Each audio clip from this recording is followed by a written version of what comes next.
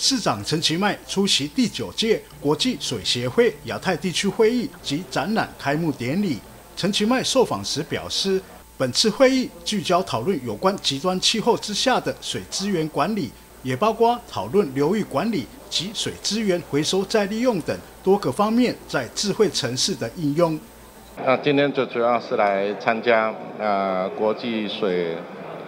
呃协会的呃第九届的亚太地区的会议哈。那最主要是要呃讨论呃这个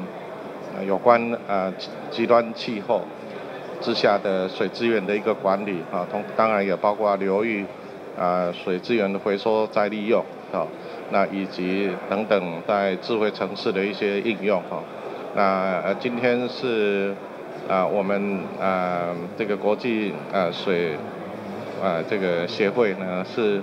我们是以国家的会员加入哈，所以能够争取到在台湾来举办亚太会是非常不简单的一件事情。陈其迈强调，台湾以国家会员加入国际水协会，并成功争取在台湾举办重要会议，是一项不简单的成就。他并说，高雄曾历经百年一遇的大旱，同时也经历过豪雨等极端气候的冲击，因此高雄更加重视水资源管理的重要性。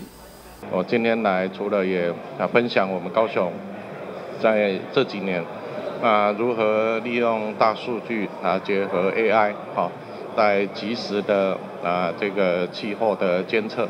啊，跟整个啊再生水的这个呃这个利用好，来啊分享高雄的一个经验。那同时也借这个机会啊，能够向呃很多的专家来讨教哈，怎么样能够让我们的城市能够啊更有韧性好啊做好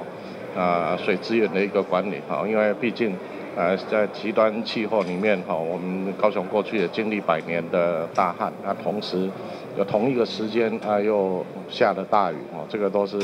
呃这个极端气候的啊呃来临啊所面临的一个严峻的一个挑战哈，所以我想呃这个会议啊要这聚集啊全球的尤其在亚太地区的一个专家啊，一定会提供给我们很多更好的一些建议。